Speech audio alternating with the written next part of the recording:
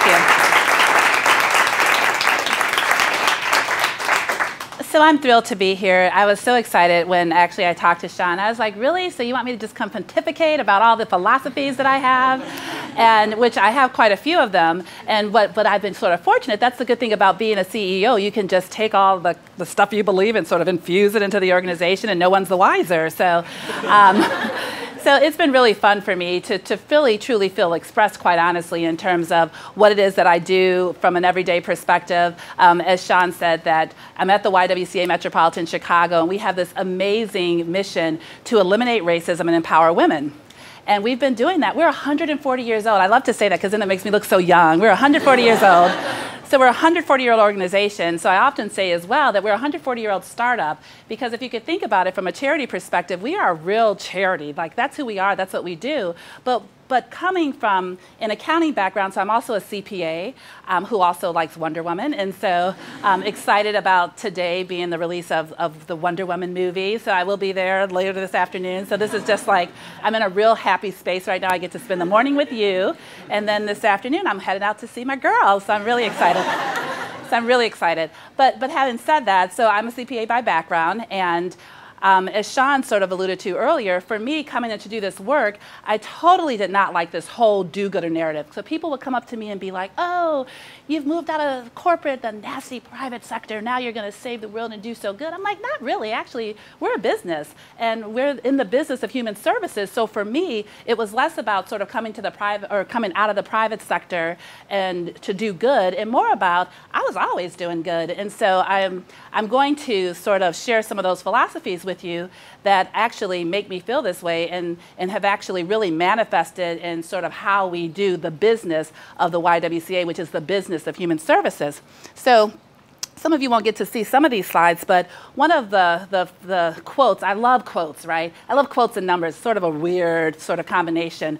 But one of my favorite quotes is that I'm not a possible, or excuse me, I'm not an optimist nor a pessimist, I'm a possibilist. And that to me sort of is everything. When I first heard that quote, I'm like, wow, that's amazing. That absolutely describes who I am.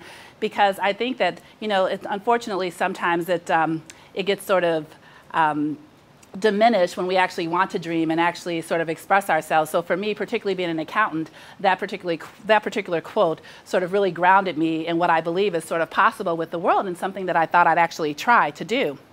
So my first philosophy um, that I'd like to speak a little bit about today is that everyone has value.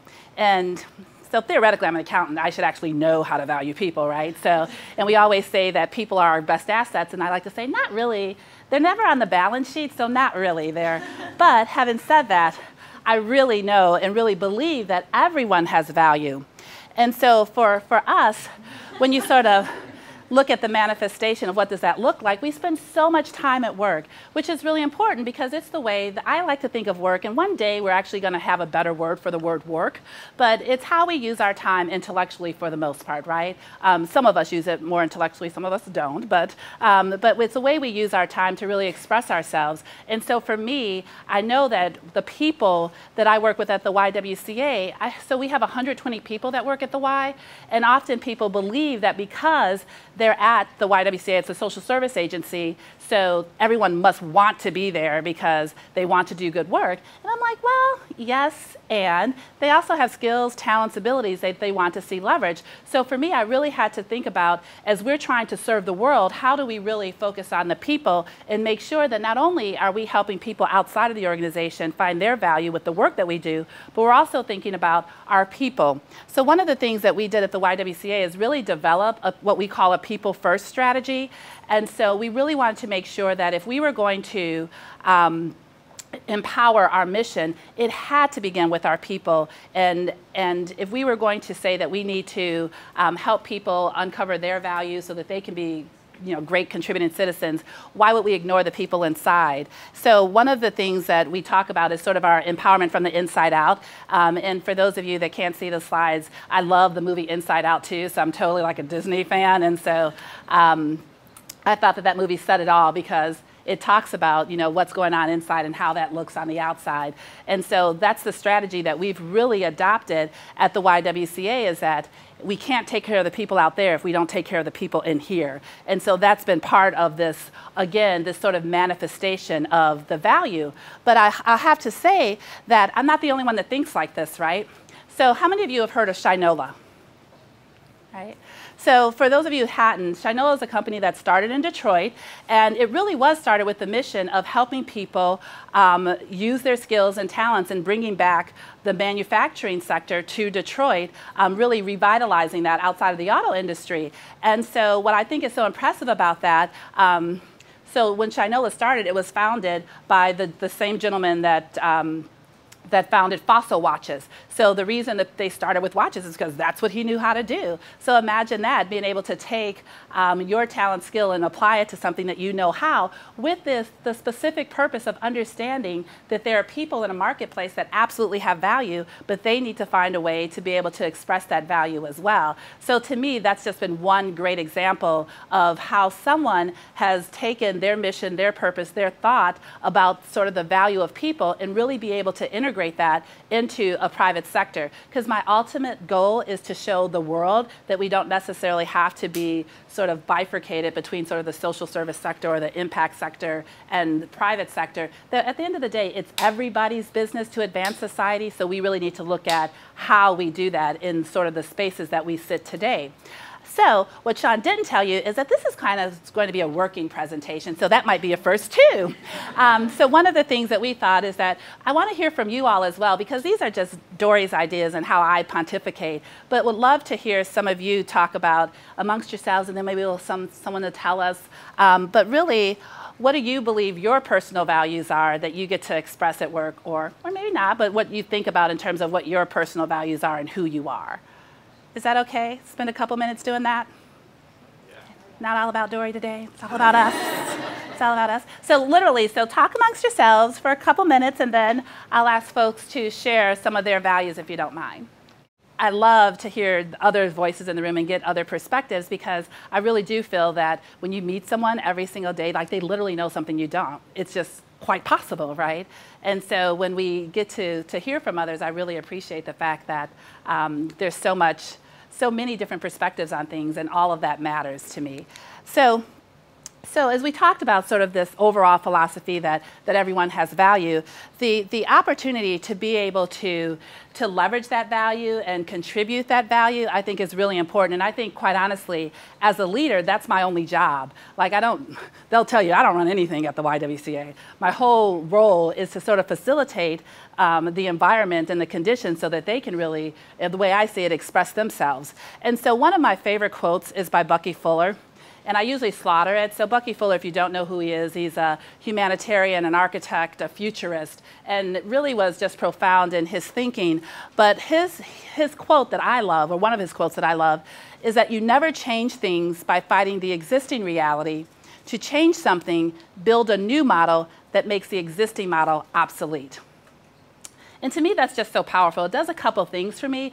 One, it anchors off the fact that when you want to change, for when you want to create, I always say, when you want to create something else, we always say, what do we have? How do I change that? And I'm like, hmm, you have to presume that you're, you're sort of in a fixed situation with the tools that sort of created what it is now that you want to change. So I really like to focus on what's possible and build towards like a new solution. So instead of just fixing problems, I like to sort of create new solutions or create new things um, that really help me fulfill what I want to do because I have to trust that whatever we were dealing with or whatever got implemented in the first place I want to believe that people did the best they could with what they knew, with the tools they had at that time. And so, you know, 50 years from now, people will judge me about wearing these tights and if I really did the best I could uh, to get dressed in the morning. But uh, so, so people are always going to be in a position to judge us for whatever we did. So my goal is to really focus on how I can create what I want versus fixing what whatever people thought about what they had at the time.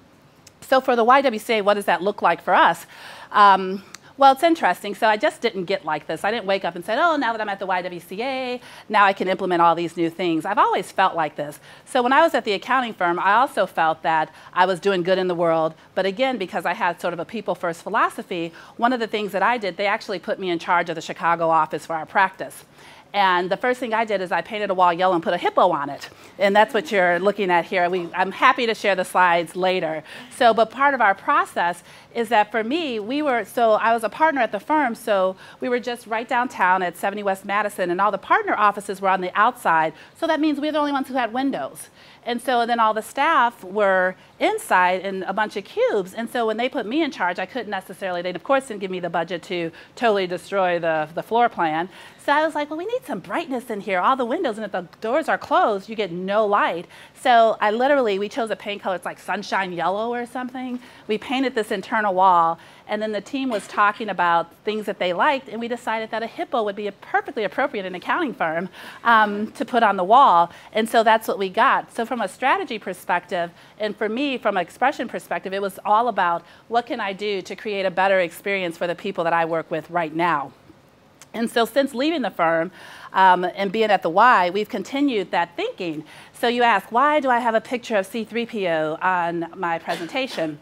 Um, well, part of it is that when we looked at, again, what can we do for the people inside the YWCA, the first thing that we had to do, um, believe it or not, we had not had an HR person. We had sort of HR administrators, but we hadn't had what I would consider a truly professionalized HR function and not that I've ever known. We've had sort of part-time people, someone to process payroll for us, but not necessarily truly tend to the needs of the people there. And so I found this woman who absolutely had the same and shared the same philosophies that I had about sort of the value of people and how the workplace is just an opportunity for people to come and express their value and contribute to the world. And so we shared that same value. So one of the things that she did from an HR perspective, she um, changed our whole process. I'll talk about it in a little detail later. But our, our people processes, as it relates to our performance management and what we do to um, recruit and all of that, we call it um, unleashing, so we call it possibility partners, unleashing purpose and potential. And so when she came in, she was our chief human resources officer. So now her title is our chief possibility officer because, again, we share the same beliefs of what's possible with people in the workplace. And um, so I, behind her back, call her our chief possibility, purpose, and potential officer. So she's technically C3PO, and so that's that's what um, that's what that's there to to symbolize the fact that we have someone really focused on how do we help our people truly unleash their purpose and potential because there's so much possibility in that. So have you ever heard of Askinosie chocolate? Askinosie, so good stuff, great chocolate. But the gentleman that founded Askinosie Chocolate in Missouri, he's so fascinating. So I happened to learn about Askinosie Chocolate because one of, um, I'm still very much active in the CPA profession, so I sat on the board for the American Institute of Certified Public Accountants.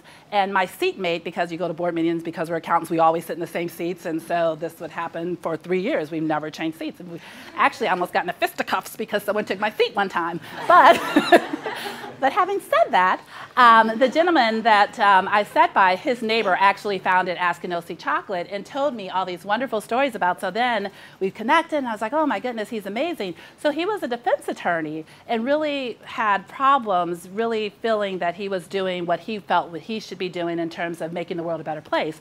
And so he actually ended up founding Askinosie Chocolate, where he wants to do good along every single um, process within the organization. So they, he hires ex-offenders. He buys the, the cocoa beans from uh, fair trade farmers and actually gives them a part of the profits. He then takes the packaging that the beans comes in and wraps, wraps, it, wraps the chocolate in that packaging so that every piece of the way. And so he's not necessarily, he didn't set out to say, oh, I'm going to be very sustainable in my packaging or I'm going to create a workforce development. He's just like, I want to do good. So if I'm going to do good, how do I create processes and business processes that absolutely allow me to do that? So when I think about Bucky Fuller's quote in changing existing processes, he took the whole, I mean, first of all, he didn't say, oh, there's all these huge chocolate manufacturers in the world. How can I go against Mars or Nestle? He's like, I'm just going to do what I'm going to do because this is what I feel needs to happen in the world. And he's created an amazing company that's absolutely changing lives, and the chocolate is good. And it's like in Missouri, who would have thought it, thunk it, right? So it's just amazing. So he's one great example of, again, it's not about private sector or, or the not-for-profit sector doing good. It really is about how do I take something I know and love, which for him was chocolate, and who couldn't love chocolate, right? Well, sometimes it depends on chocolate, but um, But he took something that he cared about and what he wanted to and how he wanted to express who he was and show up in the world and created a whole company to allow him to, to be able to do that. And then, so we think about our people and many of the people at the Y, of course, they, you know, they have some orientation to the work. And so in terms of really thinking that it's, they're doing good with the work, but to some degree, it was never enough in terms of the work we were doing. So one of our people um, saw that in one of our particular areas, so we provide childcare subsidies um, to working moms, um, or actually working parents. And, but with these subsidies, if they have a health issue, we can't, we weren't able to provide them subsidies based on the program that we're administering. And so she was very disappointed by this. And so she connected with someone in the Department of Veterans Affairs. And so we created a program called Tiny Boots. And what that program does is actually provides free uh, childcare services to veterans that are seeking not only employment opportunities but are also seeking health services. So it was just such a great combination to allow us to um, fulfill and actually feel make her quite honestly feel better because she was really finding it problematic to have to deny requests based on um, health appointments. And so the so this is actually the first in the country where there is a, a partnership between the State Department of Veterans Affairs and a local agency like ours to create this type of service for veterans. And she's just thrilled. Now she's getting from like the Wisconsin Department of Veterans Affairs and looking at how this can be rolled out. The bonus is for us too is that the child care providers that, that take care of the kids of these veterans are also getting um, paid, which allows them to use their extra capacity. So it's just such a win win win for everybody. But again, it came from her single perspective that you know, we're not doing enough to, to serve the people that really need us. And so I really appreciate that she was able to become even further expressed to create this process for us. And then this graphic here, um, Aaron Hurst, he wrote the, um, have you heard of the Taproot Foundation? So the Taproot Foundation is a professional volunteering organization um, or a volunteering organization to tap into professional talent. So he, so Aaron Hurst was the founder of that, and then he um, later he wrote a book. A few years ago, he wrote a book called The Purpose Economy. And what he's saying is that we're going to have an economy that is more driven by the individuals within the workforce that actually want to see purpose in their work, and we're seeing signs of that already in many different ways. But part of the research that they did for the book was actually through the University of Michigan, and what that research said is that it pretty much breaks down sort of a third, a third, a third. A third of the people, regardless of the job, regardless of the position, take a job because it's just a job. A third of the people do a job because it's a career and so they see the progression and it's something that they want to continue to pursue. And a third of the people see it as a calling. So whether you're talking about doctors in a hospital, same breakdown, or if you're talking about orderlies. One of my favorite example is that, you know, orderlies um, at a hospital, that's hard work, right? You're, you're cleaning beds, you're doing all these things. But one orderly saw his job as a calling, it would actually go into the long-term care facilities and switch the pictures out so that the people in those facilities could have different views. So that he saw that as a calling. It wasn't just about um, doing just bedpans and things like that. He really saw it as a way that he contributes and takes care of the people that are in the hospital that need his support. And so that to me is a choice to some degree that orientation around whether you're doing a job or whether you're doing a career or calling. Like, I actually see accounting as part of my calling, believe it or not. And I actually have proof. Had I thought about it, I would have included this in my slides, but I would have overslided you, so that's fine too. But I wrote a note to Santa Claus when I was 10 years old, 11 years old. So I know, don't judge me, I was old to be believing in Santa, but it was a long time ago, so I was still a hopeful, optimistic child then.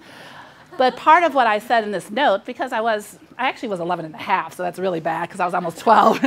and I know this because the note was in December, and my birthday is June 30th, so it's right in the middle of the year, so I was exactly 11 and a half.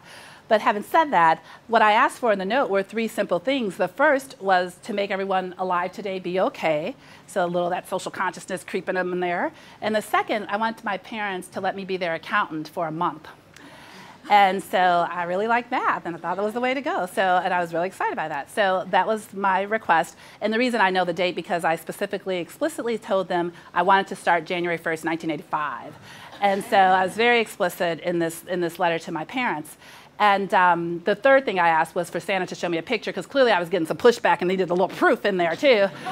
so, so So my only point in that story is that I've known since 10 years old that I can actually do accounting and make the world be okay. That those weren't, little did I know that they were going to make me choose a sector to be able to do it in.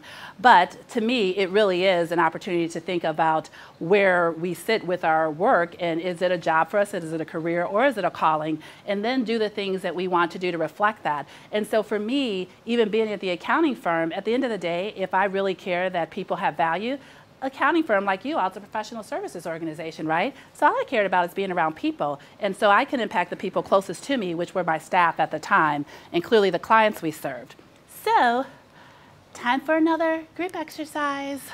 So, in this one, I want us to think about sort of what are our big ideas. So we talked about Askinosie chocolate. We talked about, you know, what's a job, career, calling. So what is it that sort of really gets you excited and sort of floats your boat as it as it relates to whatever you could do, regardless of pay, regardless of anything, because that's that to me is where we can really open up the possibilities of who we are. So I want you to spend a couple minutes thinking about your big idea or what's possible for you. So, a couple minutes of that. One of my favorite quotes, another, I, I have quotes all day, but this was uh, one of my favorite quotes by Maya Angelou. And what she says is that a solitary fantasy can transform a million realities. So just think about some of the ideas that we heard. It doesn't take much, people. Like, I think people get so overwhelmed around thinking about all that they have to do, but it only takes one of us, like one idea. And if you have to think about it, and I do think about this a lot, so just so you're like, you really need to stop commuting or whatever you're doing to give you too much time to think about this. But I often think about everything that we have was absolutely created by one person's concept or idea. That's just a fact. You know, that something, every single thing that we had was a concept at one point. Everything, everything, everything, even this little clicker, like everything was a concept. So you just never know the impact of any one idea or a single idea. So so we actually have this on the on the wall at the YWCA because what I like to believe that every single person within the YWCA is they impact a single life that who knows which of those lives that we're impacting including our own employees' life will continue to create a ripple effect because that's what we all have the possibility to do. So when I talk about our employees and this possibility partner unleashing purpose and potential, this is that is the, the theory that Maya Angelou talked about in terms of one person could unlock a million or change, transform a million lives. We think about that with every single individual within our walls. And so we want to make sure that we have to create a place for them that they can truly unleash their purpose and potential. So how do we practically do that, right? So for us, the first thing we did was got rid of performance appraisals, believe it or not. Um, what we said, well, a couple things. So my background, professional services, accounting, whenever we did performance appraisals, it was specifically to um, get a merit increase or you know create the career path. The reality is we're a really flat organization. If we don't get any more money, I can't give people raises. So why are we wasting our time, quite honestly? So for the YWCA, it was a very practical matter that we could say how wonderful you are, nothing was going to happen. We could say how horrible you are, nothing was going to happen. So for us, it was just a big waste of time. But the, the, actually, there's more people that have done research than just the YWCA that has also said, and ours wasn't research, ours was just like, why are we doing this? We're wasting everyone's time.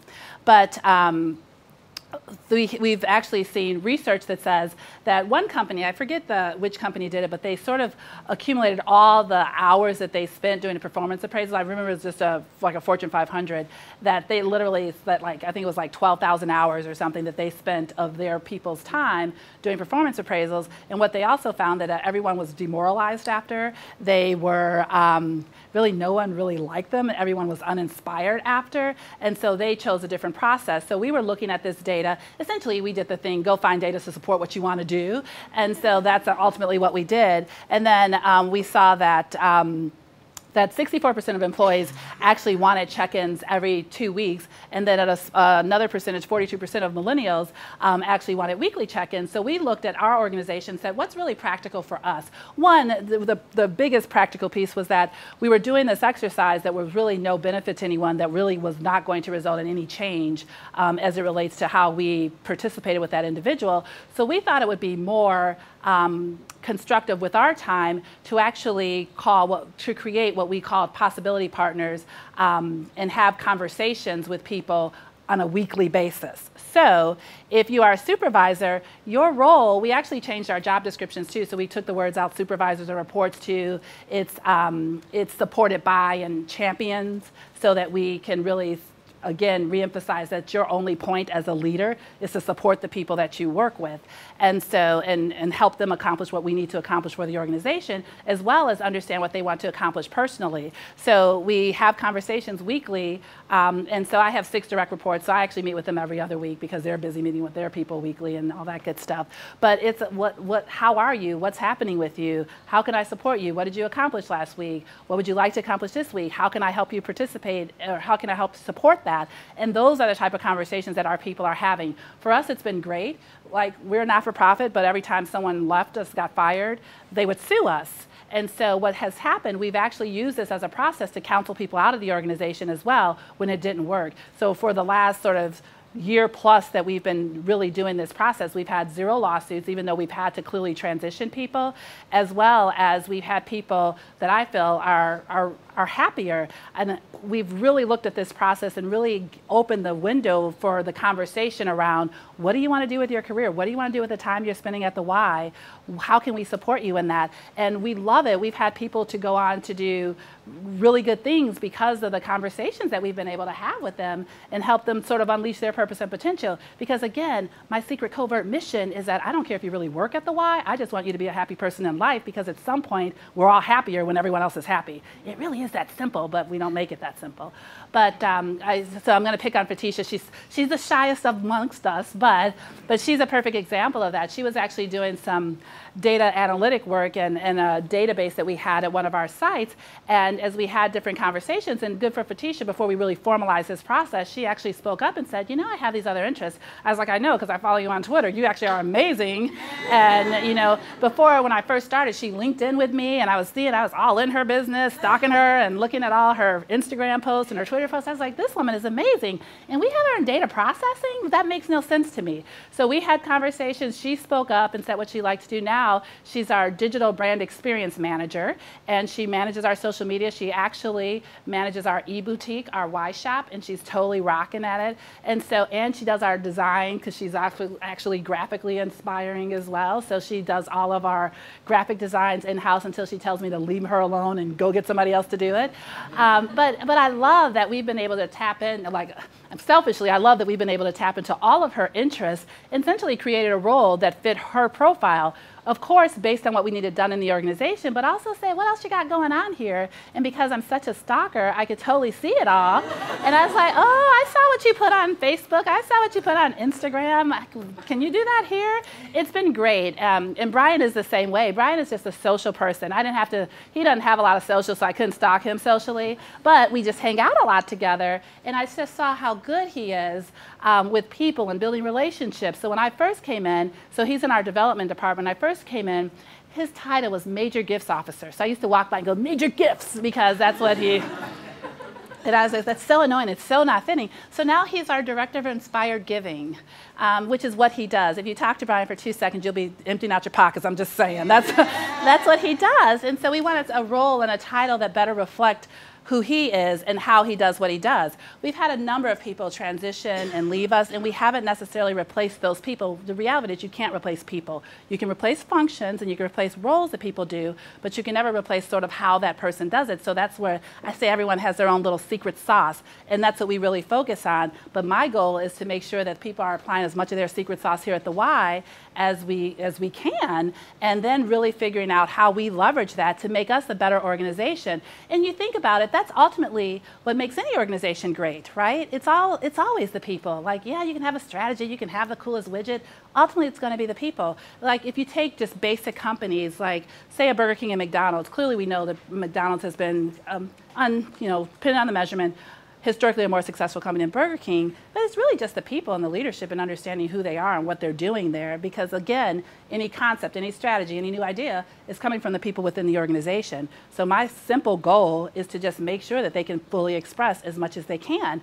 And when they're too, and when they've expressed beyond what we can offer, they are so welcome to find an opportunity where they can then go also express themselves somewhere else. So one, um, the person that managed our our Y shop before Fatisha took it over. She actually um, was loved fashion. We got her out of the fashion world. She was in PR like Oscar de la Renta, um, and she had moved from New York back to Chicago and was working at Neiman Marcus actually as one of the salespeople there, or one of the assistant managers, but wasn't very happy doing that. So we're like, hey, we're launching this. I need someone with retail knowledge to launch this Y shop for. She came in, set it up, and established that for us. And she really wanted to do more traditional marketing and get back, well, not traditional marketing, but get back more of a marketing path, career path for her.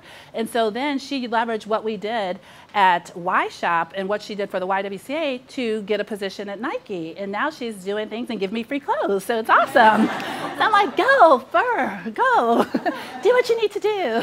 But, um, but then now, now Fatisha has come, taken over the Y Shop and taken it to a whole nother level by what she brings to it. And we have so, we actually have so many more merchants in the diversity of products and how we engage with our products because that's what Fatisha brings to it. And so that's what I think is possible when everyone sort of gets in and mixes up their own sort of special and secret sauce. So that's a picture of our staff, and that's not staged. They are genuinely happy people that work at the YWCA. And so, but we do try to have a lot of fun because, again, I view work as a place where human beings come together and express themselves and be the best that they can be, and hopefully contribute in a way that's going to continue to advance the rest of us. It's just that simple, at least in my mind. So having said that, I have another great example of a human being that wanted to look at what she was doing and how she could better express herself. So have you heard of Rumi Spice? Rumi Spice? So it's saffron. They, they import saffron from Afghanistan. This woman is totally, if you watch, watch Shark, Shark Tank about three or so weeks ago, she was on there. She's actually from Chicago, so Kimberly Jung here in Chicago. But what she did, she was, uh, she was in the, I want to say it's the army, she was in the army. And when she was in the army, they were, she was in Afghanistan, and they would destroy poppy fields. And of course, that's what the army does. They don't want you know, to support the drug trade, so they were destroying the poppy fields. But what she noticed there was that, well, as they were destroying these fields, that there are farmers that actually rely on these for their livelihood. So she was like, well, how can we support the economy for or the for the financial sustainability of these farmers and by the way also impact terrorism because we're making it possible for them to find a way to create a living for themselves and not be sort of swept into other things? Well she figured out that they can grow saffron. And so she started helping farmers in afghanistan grow saffron and so saffron apparently gets way more money than poppy does. And so, so her goal is now to continue to help farmers grow saffron as well as help people understand how you can use saffron. Apparently, I heard it was like that, like the rich man versions of turmeric or something, or something she told me, but I'm like, I'll buy it, whatever.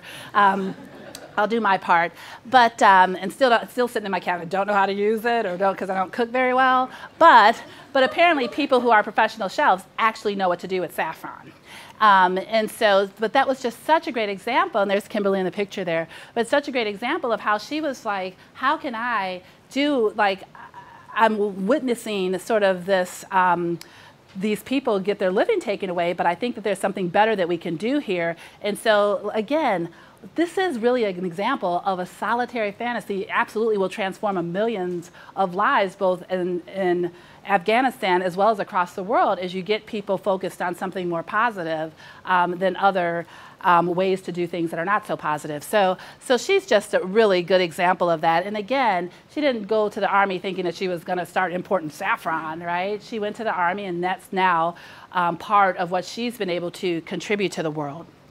So that's all I have for you folks. To me, it's just really, really simple that I just believe that it's so possible, and, and that's why this name of this presentation is Be a Possibilist. I just believe in truly the possibilities of what is what could happen if all of us are truly focused on being who we are and taking that and just really like bringing it to the world in a way that's true to who we are wherever we are. And I always say too, when people are like, oh, I want to do good, I'm going to go work for a not-for-profit. I was like, if we're the only ones doing good, then what is everybody else doing, right? So we really need folks to really figure out what really makes you excited, what makes you happy, and really implement that. I know sometimes I sound like my Miss America speech, like I just want the world to be a happy place, but I do, and I really do believe it's just that simple to do that. So I'm actually going to have you all participate in a little pledge that I take at the YWCA. So stand, raise your hand, however you feel best to do that. We can participate. You're all looking at me like I'm so scared. It's not that dangerous. It's not that dangerous. But I will ask you to, I know it's hard getting off the floor, at least on my knees don't work that well, so. so, but we're going to raise our little right hands because somewhere in America, somewhere, someone said that when you raise your right hand, it makes it official. So we're going to go ahead and do that. So we'll try this sort of repeat exercise. So today I serve the world. Today I serve. By being my most empowered self. I leverage my whole self. And appreciate others. And appreciate others. For doing the same. Doing the same. By being our whole. Being our whole. Empowered selves. Empowered selves. We improve the world. That's all I got for you folks.